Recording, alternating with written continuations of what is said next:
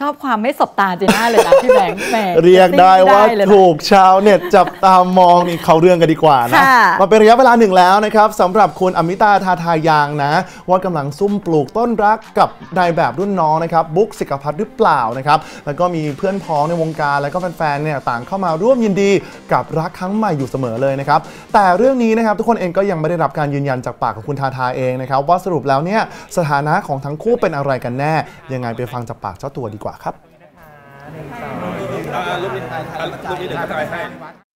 พวกเธอรีบ พวกเธอรีบ คือพวกเธอไปสรุปกันก่อน ทางเราอะไม่รีบ ทางเราก็จะเย็นๆอยู่นะคะก็แสดงว่าเป็นการพูดคุยกันอยู่พี่ชายก็คงก็คงไม่คุยมั้งคะถ่ายรูปกันเบอร์อย่างนี้ก็ก็คุยกันค่ะ จริง ๆ เป็นเพื่อนกันนานแล้วค่ะ เป็นเพื่อนกันนานแล้วแล้วก็ เออแต่เพิ่งจะมาสนิทกันน่าจะเดือนธันวาไหมสบายใจมั้งคะแล้วก็หัวเราะเยอะขึ้น หัวเราะเยอะขึ้นดีแล้วก็ก็ดีค่ะ อยู่ด้วยกันแล้วก็สบายใจก็ทางเขาหวังว่าทางเขาคงทำให้เขามีความสุขมากนะเขาจะให้รับมีมีความสุขอยู่คนเดียวก็ไม่ได้อะไรอย่างเงี้ยค่ะก็เอาเป็นว่าคือจริง ๆ แล้วคือในตอนเนี้ยทารู้สึกว่า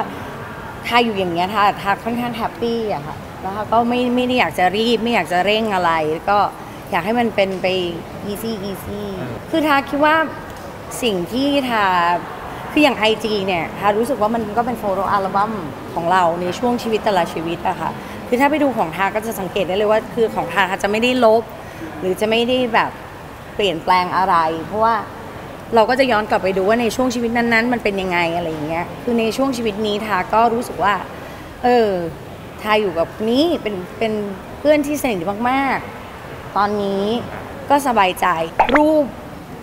คู่แรกที่ทุกคนแบบคิดว่าเปิดตัวอะไรอย่างเงี้ยคือนั้นเนี่ยคือแบบไปกินข้าวกันถ่ายรูป แล้วคือทาก็ดูรูปเลยนะคะว่าเฮ้ยแสงทุกอย่างมันดีอะคือมันดีมันมันควรเอาไปประดับไอจีอะเข้าใจไหมมันควรเอาไปประดับไอจีแล้วเราก็ถ่ายรูปให้บุ๊กแล้วเราเราก็งัดชื่อ ช่างภาพเมืองไทยเก่งๆหลายคนมาเลยแบบคนนู้นคนนี้อะไรเงี้ยคือมันเป็นเหมือนโจ๊กอะไรเงี้ยค่ะ แล้วก็แล้วก็พอโพสต์ไปก็ตกใจเลยอีกวันโอ้โหกระแสแบบมาแรงมากคิดว่าแบบเป็นแฟนกันเปิดตัวแล้ว โอ้โห มายินดี ทุกอย่างแบบคือเดี๋ยวก่อนเราเราใจเย็นกับเราหน่อยขอขอบคุณคุณผู้ชมทุกคนนะคะ ที่ติดตามรายการ Inside News Tonight อย่าลืมกดกระดิ่งและกด subscribe กันด้วยนะคะ เรายังมีคลิปวิดีโออื่น ๆ อีกมากมายค่ะ และถ้าคุณผู้ชมนะคะ ไม่อยากพลาดการรับชมแบบสด ๆ สามารถติดตามได้ที่ Facebook Fanpage True Insight เข้าไปกดติดตามได้ที่ลิงก์ใต้คลิปนี้เลยค่ะ